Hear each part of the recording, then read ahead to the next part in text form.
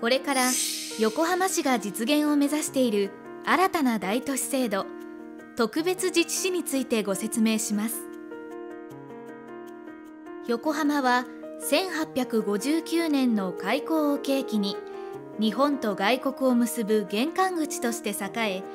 現在は377万人を超える人口を有する日本最大の市に成長しました。日本有数の港である横浜港や近代ビル群歴史的建造物が調和する美しい街並みが広がる一方県内1位の農地面積を有するなど自然環境にも恵まれた多様な魅力を持つ都市です。横浜市は都市の魅力をさらに高め活力を生み出し市民の皆様へのサービス向上と経済の活性化へとつなげるため現在の指定都市制度に代わる新たな大都市制度特別自治市の実現を目指しています。では特別自治市とはどのような制度なのでしょう？現在の指定都市制度は1956年に暫定的に創設されたもので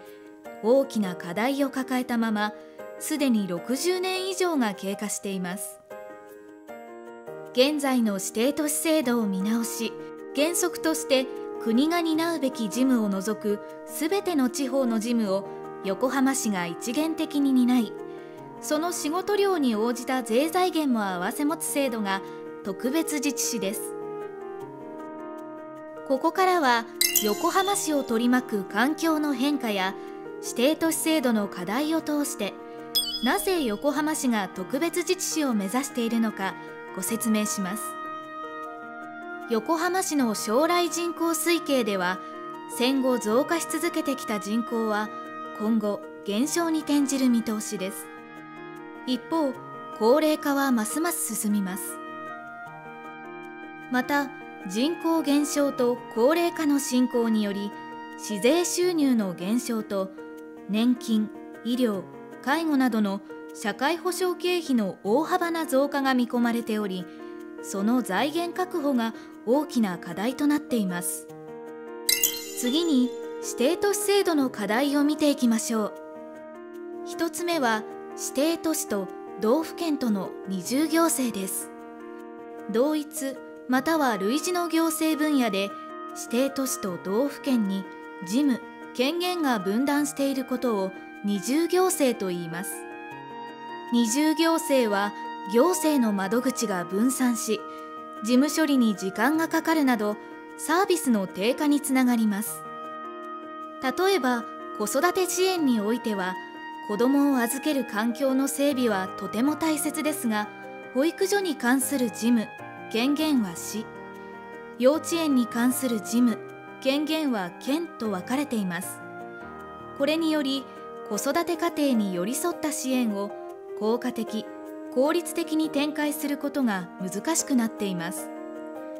こうした二重行政はさまざまな行政分野に及んでいるため市民の皆様に身近な場所できめ細かい行政サービスを提供していくためには同種の事務権限を市に一元化する必要があります。もう一つは税制上の課題です。指定都市は一般の市では都道府県が行っている事務の多くを市の事務として行っていますがその負担経費の一部しか税金としていただけていません。必要な財源が措置されるよう税源の配分を見直す必要があります。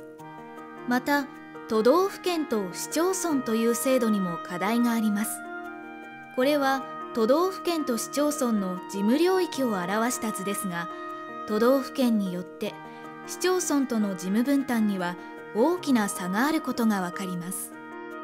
神奈川県では3つの指定都市があり市町村が担う事務領域が多くなっています。一方徳島県では県が担う事務領域が多くなっています。同じ県でも担っている役割は大きく異なります。しかし現行の地方自治制度は画一的で基本的には横浜市も一般の市町村と同じ枠組みの中にあります。特別自治市をはじめさまざまな地域の実情に応じた多様な大都市制度が必要です。それでは特別自治市とはどのような制度なのかご説明します。まず1つ目として横浜市域の国以外の仕事は原則として全て横浜市が担います。これにより県との二重行政が完全に解消され行政の無駄がなくなります。2つ目として国以外の仕事を全て横浜市が担うため市域内の地方税は横浜市が全てお預かりし横浜市の役割仕事量に見合った公平な税制に見直します。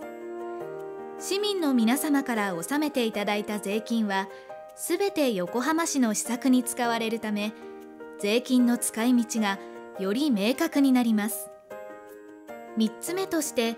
県や近隣市町村と協力して行政運営を行いこれまで以上に連携を強化します。現在も横浜市に隣接する7市と連携し県域全体の行政サービス向上に向けて取り組んでいます。例として隣接市との図書館の相互利用や待機児童対策の連携などがありますが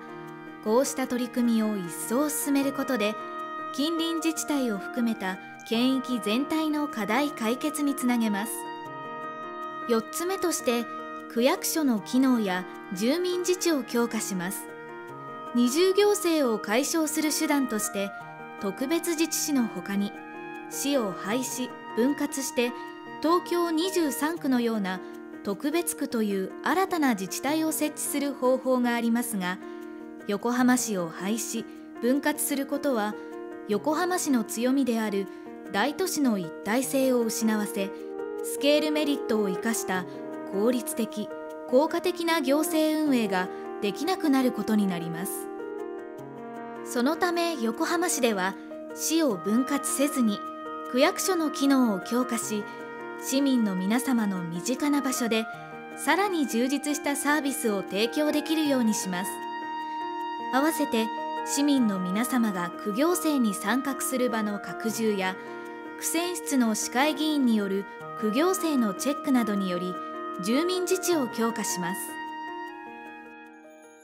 では特別自治市の創設によりどのような効果が期待できるでしょうか？